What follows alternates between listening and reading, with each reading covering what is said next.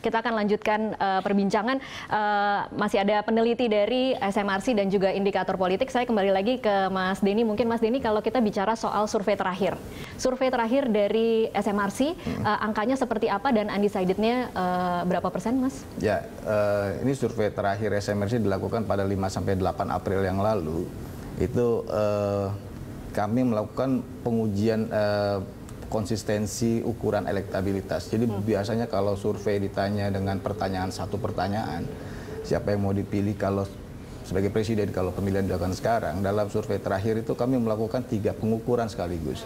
Jadi ditanya langsung dan ditanya secara tidak langsung, diberikan skor. Kita minta berikan skor 0 sampai 10, mana yang lebih mungkin memilih Jokowi atau Prabowo, hmm. mana yang lebih mungkin uh, apa dari 0 sampai 10 seberapa mungkin memilih Prabowo, seberapa mungkin memilih Jokowi. Okay. Dan semua hasilnya konsisten. Hmm. Dalam pengukuran langsung hasilnya adalah Jokowi 56,8 persen.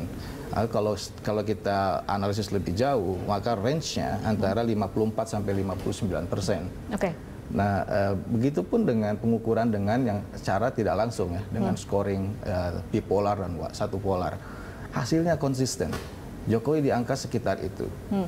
Jadi terpaut uh, dengan Prabowo di angka? Nah, kemudian yang menarik adalah ada undecided sekitar 6 persen. Ya. Nah, 6 persen itu kalau dianalisis ternyata profilnya lebih dekat ke Prabowo, lebih dekat, lebih mungkin memilih Prabowo. Hmm jadi kalau katakanlah berpikir konservatif, semua 6% itu 6 full akan memilih Prabowo di hari ini. Prabowo semua masih unggul juga okay. di posisi 56. Okay. Margin of error sekitar 2%, at least Jokowi dapat 54%. Hmm. Hmm. Jadi eh, tapi tentu saja survei itu kan eh, apa namanya dia terikat pada waktu. Jadi survei dilakukan pada 5 sampai 8 April, sementara pilkada dilakukan pemilu dilakukan pada 17, 17 April. Maka ada sekitar satu minggu jarak itu. Hmm. Apakah mungkin ada perubahan dalam satu minggu? Yang uh, eh, SMRC melakukan tracking, okay. tracking dengan cara menelpon kembali responden yang pernah disurvei pada 5 sampai 8 April. Itu dalam satu minggu dalam setelah satu minggu, uh, survei terakhir survei dilakukan terakhir, menjelang menjelang 17 hari ini. Betul. Dan terakhir kapan uh, terakhir dilakukan? 15 sampai 16 semalam. 15 kemarin. sampai 16 dan hmm. angkanya seperti apa? Angkanya tidak berubah banyak. Tidak berubah. Walaupun okay. sebetulnya ada kemungkinan uh, kalau prediksi turun sedikit pada Jokowi, tetapi hasilnya kurang lebih sama dengan hasil survei bahwa hmm. kesimpulannya Jokowi memang unggul dalam uh, dalam survei gitu okay. ya. Nah, cuma masalahnya uh, ada perbedaan antara survei dengan pemilihan umum.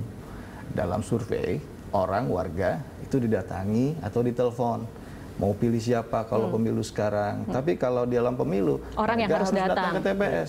Kalau mereka sibuk, misalnya ah, saya sedang sibuk sekali atau sakit atau apa, Nah, itu bisa bisa ada perbedaan maka hasil survei dengan Jadi dari situ pemilu. mungkin ada angka penurunan artinya. Betul. Hmm, okay. Walaupun kalau kita lihat kemungkinan itu sampai terbalik, hmm. itu kemungkinannya sangat kecil. Kemungkinannya, kemungkinannya sangat kecil. Oke. Okay. Baik, kita masih akan lanjutkan Mas uh, Umam ya. nanti akan uh, kita bahas lagi lebih lanjut tapi kita harus news update dulu uh, terlebih dahulu.